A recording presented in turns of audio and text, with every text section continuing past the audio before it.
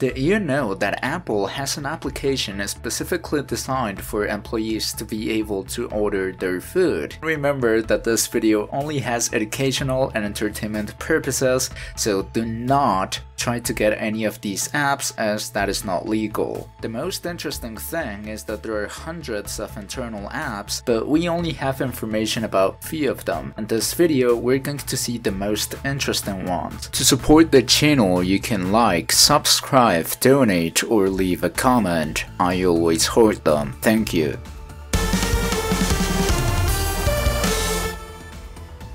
To understand how most of these work, we have to talk first about Apple Connect. This is a network and authentication system that provides access to certain internal programs only intended for Apple employees. It has its own application for iOS and macOS that lets you sign in with a password or gesture-based login. You used Switchboard to update and manage other internal iOS or macOS software. It seems to have been discontinued in 2021 though. Alternatively, you can use the App Shack introduced in iOS 13. It allows you to download other internal stuff like AR Maps, Jarvis Demo, Livability, and a Siri Beta. This is known because there are ways of accessing the App Shack via a web browser, but to avoid any problems, I won't share the URL. The official replacement for the switchboard is self-service. In order to gain access to it, your device must be associated with a Jamf Pro server that is distributed via email when you first connect to Apple's VPN. You can only download apps available to you depending to your position at Apple. Speaking about the app that I mentioned in the intro, that one is Caffe Macs that lets employees order their food at certain Apple campuses, placing remote orders. Reportedly, it lists information like calories fat, carbohydrates, sugars, protein, and fiber. You can pay your food with a meal program or voucher with a payroll deduction and with Apple Pay. Phantom is used to safely and securely share videos with other employees,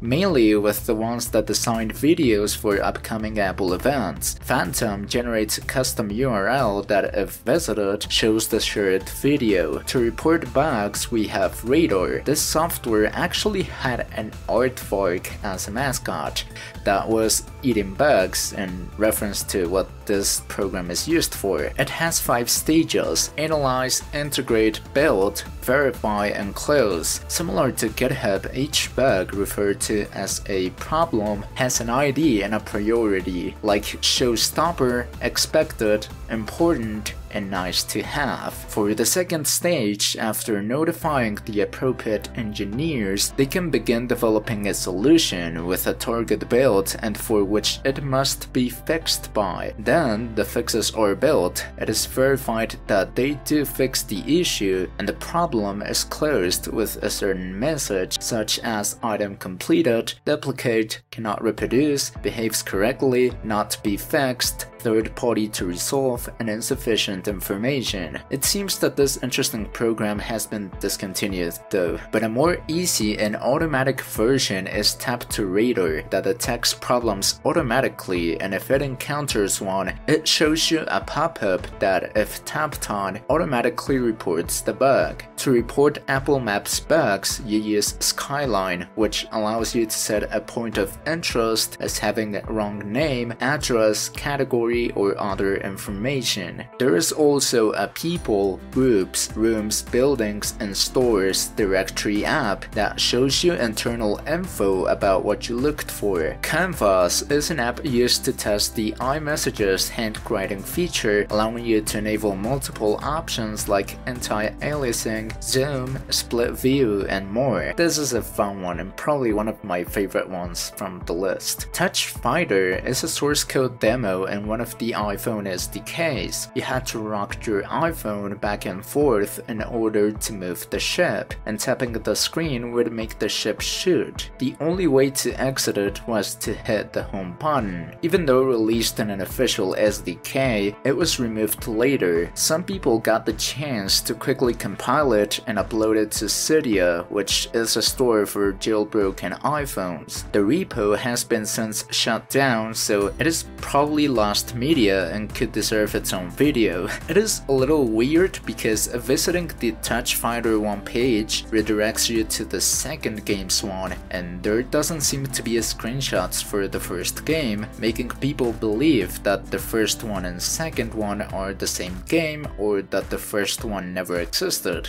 If someone still has the source code, they can probably rebuild it and publish it somewhere. Reliability allows you to test and see the status of your device's parts, like compass, gyro, accelerometer, and proximity sensors. It has an alternative version just called Alternative Reliability that does the same thing, but has a more modern UI and uses mostly food for icons, being known by some as Fruity Reliability. Internal Settings is like the Settings app, but on steroids, as it has some pretty advanced settings, like letting you set a battery limit for the low power mode, toggle sending logs to Apple, or hiding the status bar for the Replay Kit framework. You probably have seen the iPhone retail demo apps like the Face or Touch ID apps that let you test these technologies without actually locking the phone and saving your fingerprint or face. The pricing app that displays the specs and price of the device it is installed on, or the screensaver app that displays a looped video stored within the program's root directory. iOS devices also have commands at root, user, local bin,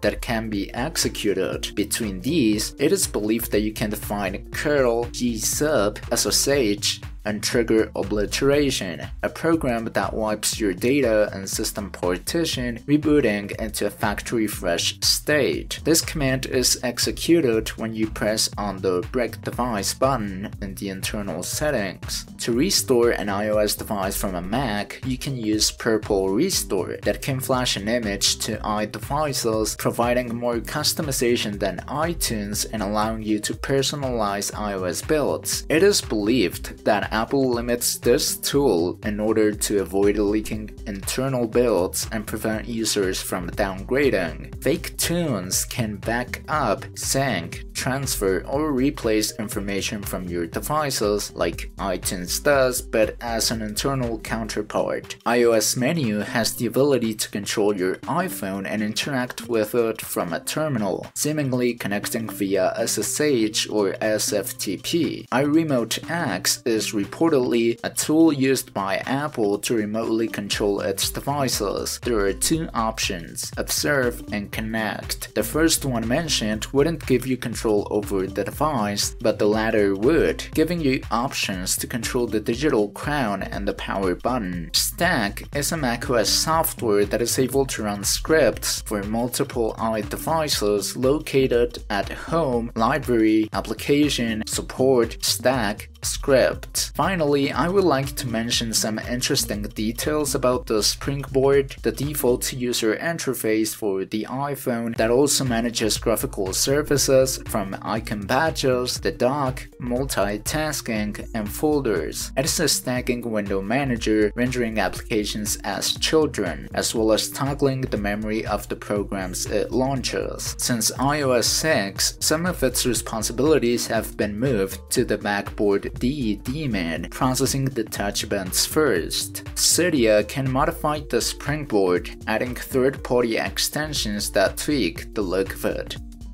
Well, these were the most interesting Apple internal apps. Let me know which one was your favorite one. Remember that I also take video suggestions. Goodbye, see you in the next one.